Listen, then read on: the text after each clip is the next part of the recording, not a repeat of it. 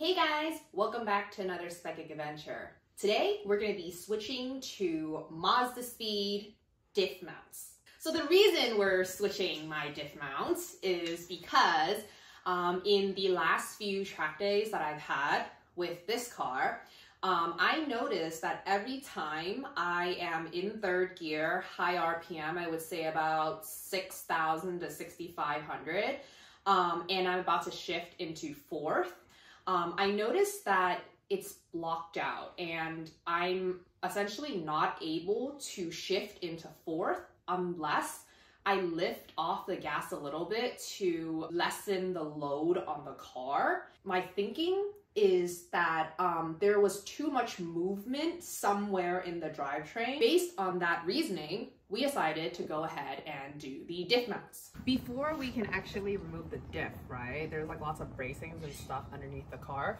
So the first thing we did is remove this brace. It's one whole piece, all right?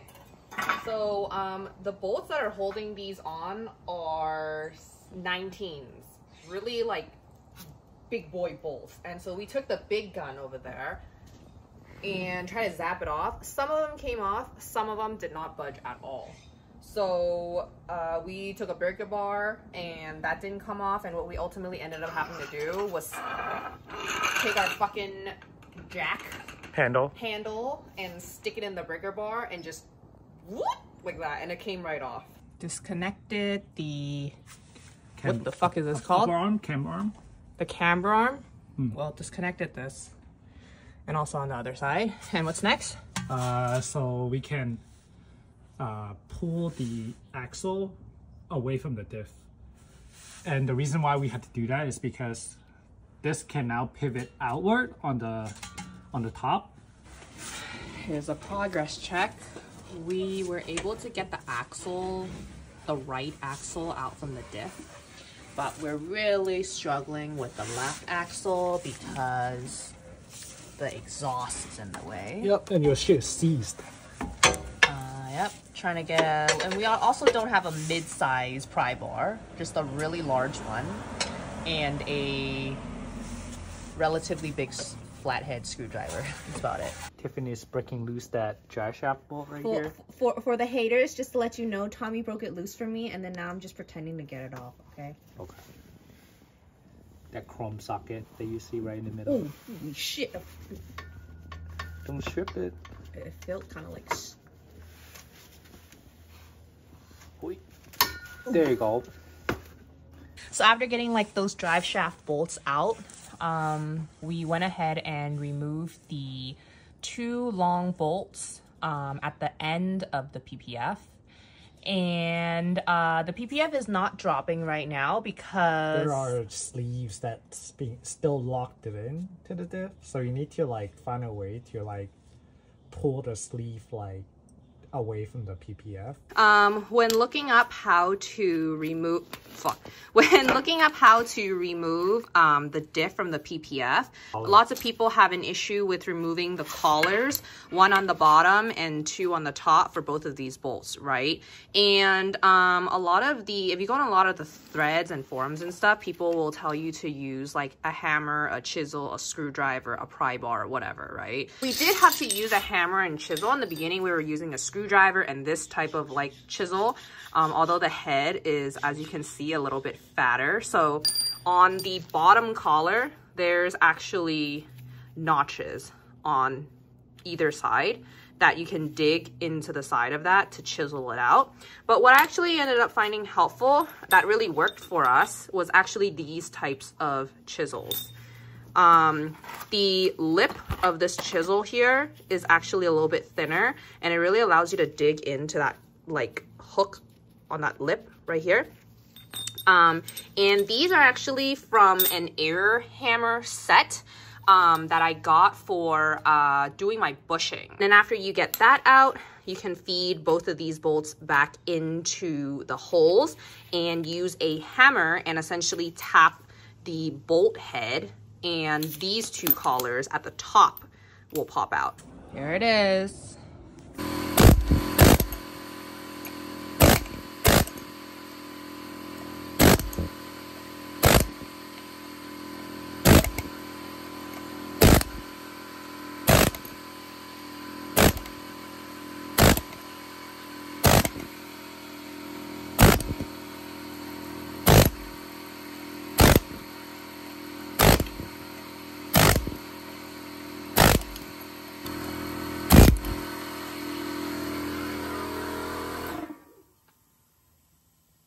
I'm looking at the general overall mounts on both sides. They look pretty good. Like it doesn't look like anything is cracked or it's not even hard actually. It's like it still feels like cushiony. now I'm thinking if I put in the comp mounts, I wonder if it, that really will help the issue or if the issue is somewhere else.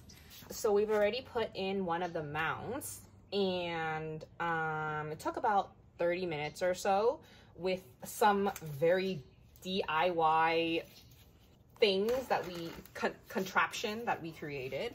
But um, what I found to really help is um, prior to actually trying to press in the mount, um, Tommy thought of this genius idea to put a hose clamp around it because you know how when the mounts come this part's not compressed right it's kind of open so um not only do you have to make sure it goes in straight you also have to kind of you know somehow make sure that's going in as a circle, right? So in order to make sure that it's in a circular shape before you even put it in, you can use a hose clamp to kind of compress the gap openings first.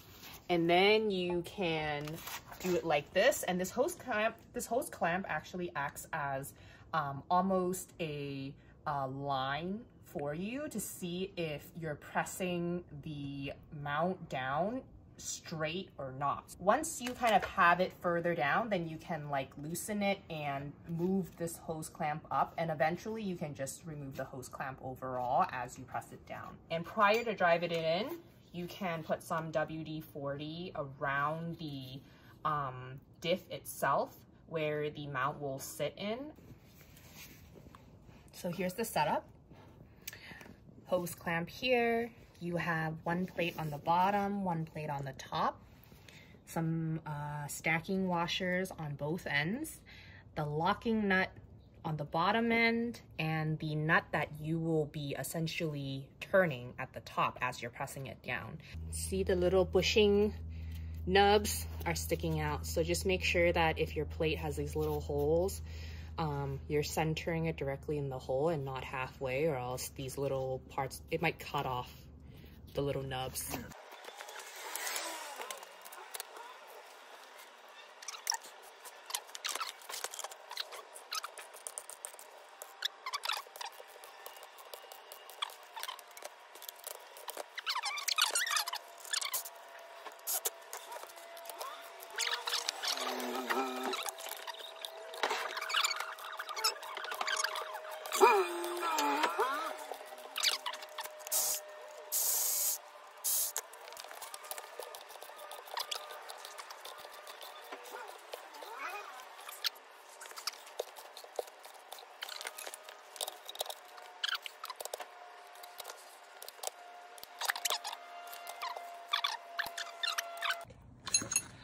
So obviously the star of the show was the air hammer, right? Like literally got that shit out in like under 30 seconds.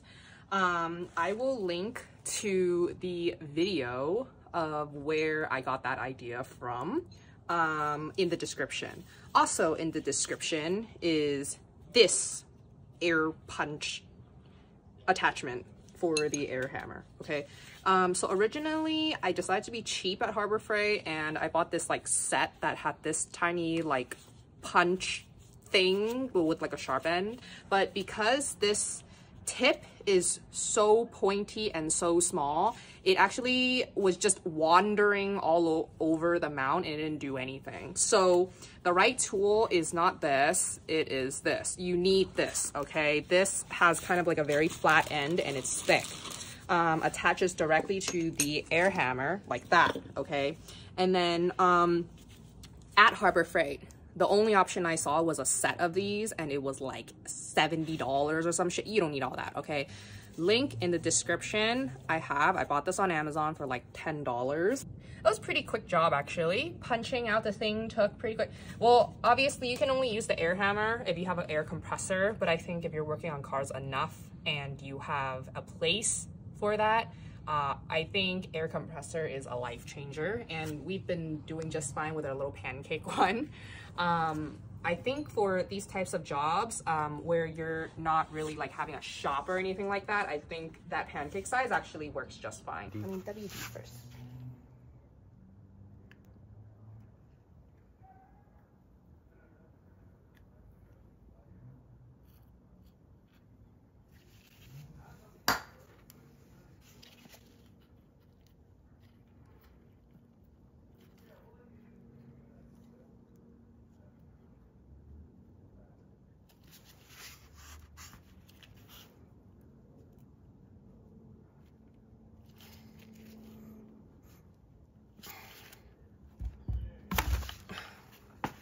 Just hook on from the back here like that and just pull it out.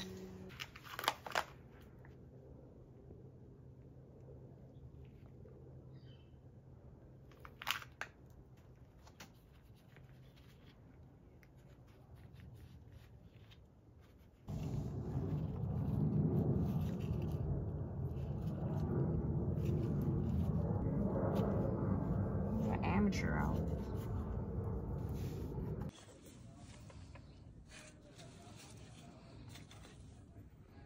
Just check once in a while that everything's going okay.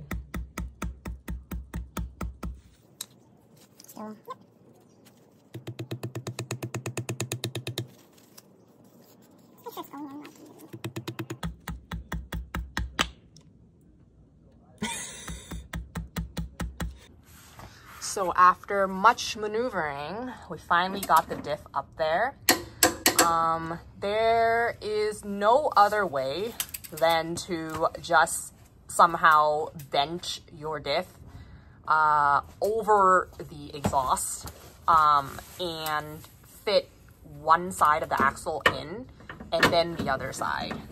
Um, there's just very little room and clearance over there, especially needing to um, clear your PPF, clear the axles, clear the exhaust, clear the arms, just lots of stuff to clear. Um, so we spent, I think, about an hour going back and forth and um, somehow was able to get it in there. Um, yeah, I think it might be a little bit easier if we had like a transmission jack so that we can keep the diff stabilized when it was going up. Um, but we don't, so we managed with a regular floor jack. Um, so now we are just, uh, you know, putting all the nuts and bolts back, looking up torque spec, things like that. Um, and uh, we're going to go ahead later on, uh, fill in some um, gear oil into the diff, and we should be good to go.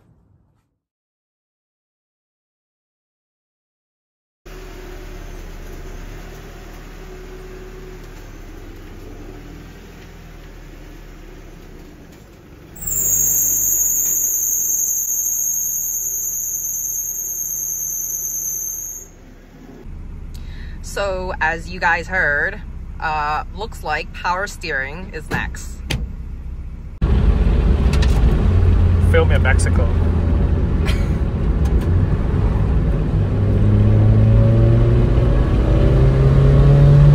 Feels good.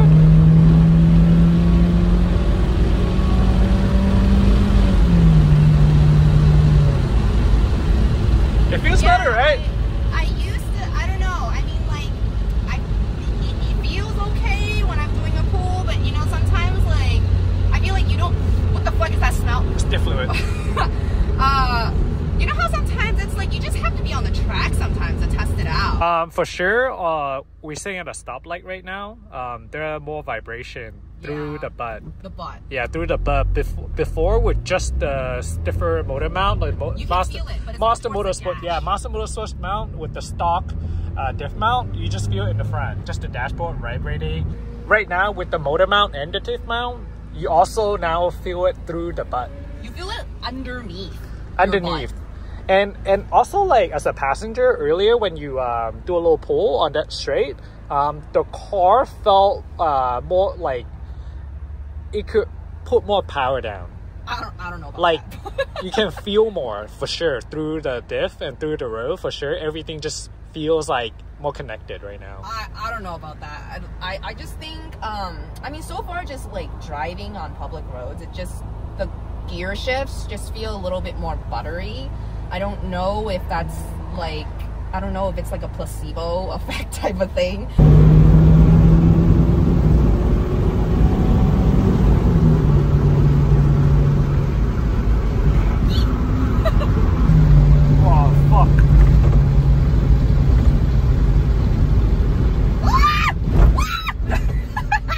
So after we were able to put in the diff, everything else uh, was just, you know, putting the things that we took off back onto the car. The hardest part really was just fitting in the axle to the diff.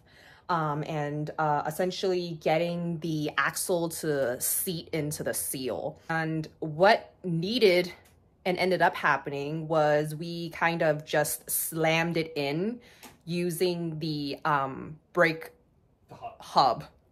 Uh, so essentially just get a hold of the brake hub, make sure like the, the you know, like where the spline, where the spline looking part of it, uh, of the axle is like seated properly in the uh, hole of the seal, right? And literally just fucking go to town and slam it in. Um, and once it's in, everything else is just a matter of bolting things up. And we've come to the end of the video. Um, if you have any questions about um, the entire like process of the diff mount installation, feel free as always to leave it down in the comments below. Uh, product links will be in the description box, so check there before you ask me. Thank you very much for watching and stay tuned for more Spec Adventure. Bye!